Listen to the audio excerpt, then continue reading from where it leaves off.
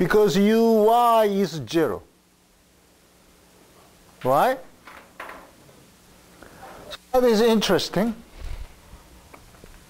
That is somehow related with the concept that we learned in vibration.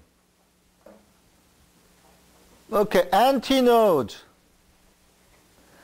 At antinode, we cannot move it. Antinode means that the position that is not moving. Okay? So what about the impedance of antinode? Infinity. Right?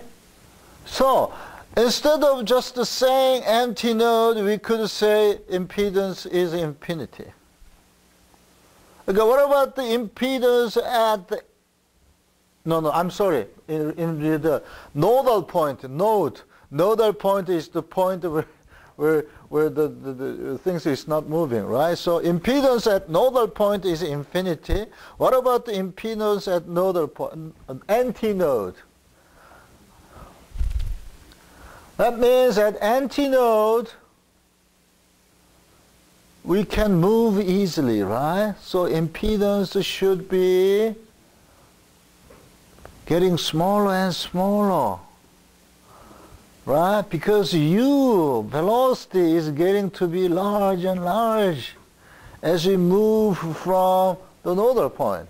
So that means impedance is suddenly capable to describe what's going on on the medium or what's going on on string. So we can envisage or we can guess that impedance could describe the physical behavior of a string all the way.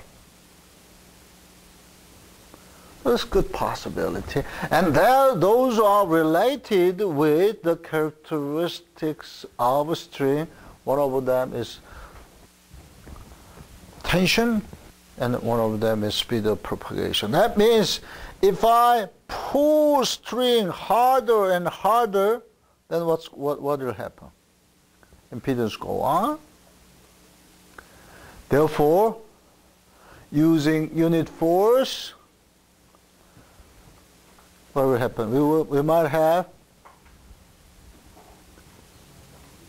small velocity. That makes sense.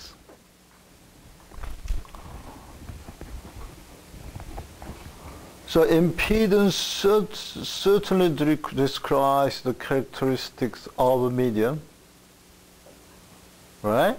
So we call this is the characteristic impedance. Okay, now let's enjoy what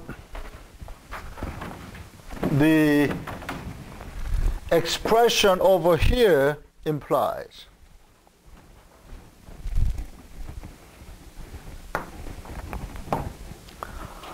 Okay.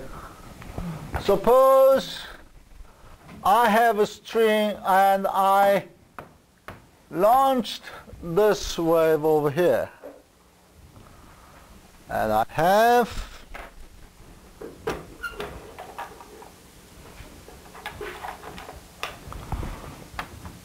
thick string. I have a thick string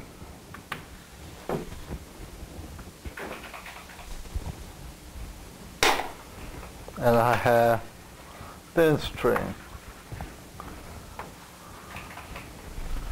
Okay.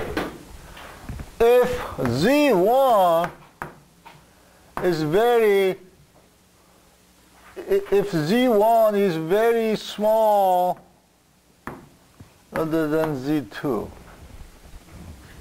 What does it mean?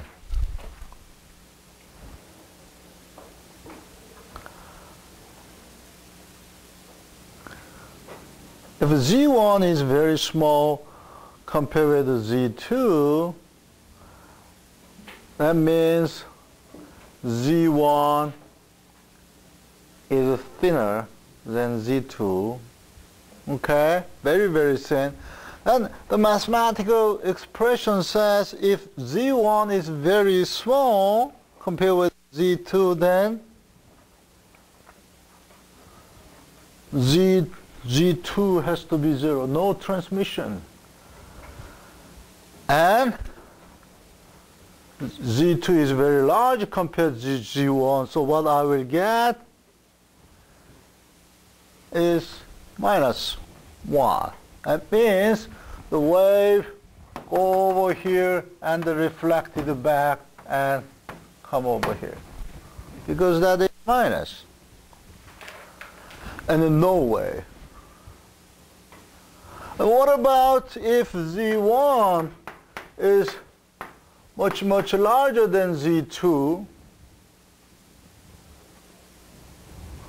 I think in that case is very thick compared with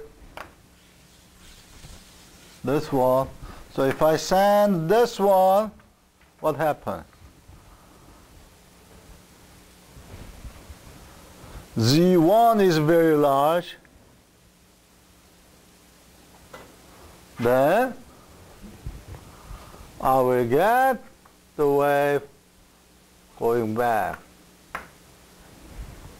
here. Right? and transmitted wave is a Z2 is very small compared with the Z1. I have I magnify the transmitted wave twice. Do you think that's possible? That violate thermodynamics law, right? I have this, I get this back this way, but I have twice bigger wave over there. That is not possible. Okay, this we are only talking about the amplitude. Amplitude. But what about the power? What about the power? We have to, we have to consider the power, right? Does power really increase by 2? No. The power of H1 has to be H1 multiplied by the velocity of the instant wave and that is dh I mean dy dt. If you do that, you will get that the power transmission is zero. No power.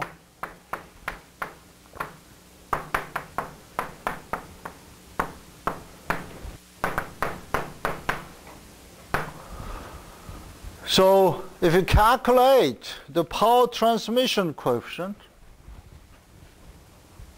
then you can find out no power is transmitted. In between, what would happen? Some wave transmitted and some wave reflected. This case, some wave transmitted and some wave uh, uh, reflected and some wave transmitted, depending on the impedance as you can see in the text. Okay? So that demonstrates that depending on the impedance, transmitted wave and the reflected wave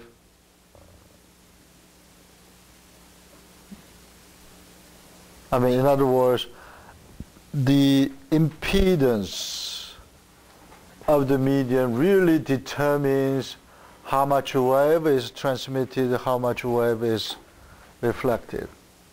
Oh, that's very interesting.